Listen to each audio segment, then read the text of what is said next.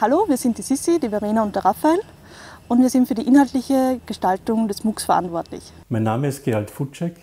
Ich leite hier an der Technischen Universität das Institut für Softwaretechnik und interaktive Systeme. Ich möchte Sie recht herzlich zu unserem MOOC zum Programmieren lernen begrüßen. Hallo und herzlich willkommen zu diesem MOOC Programmieren im Processing. Mein Name ist Elisabeth Wetzinger. Ich bin Universitätsassistentin an der Fakultät für Informatik an der TU Wien und habe die Koordination für diesen MOOC übernommen. Mein Name ist Lukas Krenkel. Ich studiere zurzeit Software Engineering im Masterstudium und wir befinden uns hier an der TU Wien im vierten Bezirk.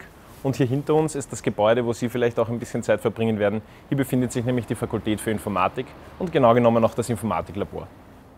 Lukas und ich werden gemeinsam durch die Videosequenzen in diesen MOOC führen und wünschen euch jetzt schon viel Spaß, viel Freude und kreatives Programmieren.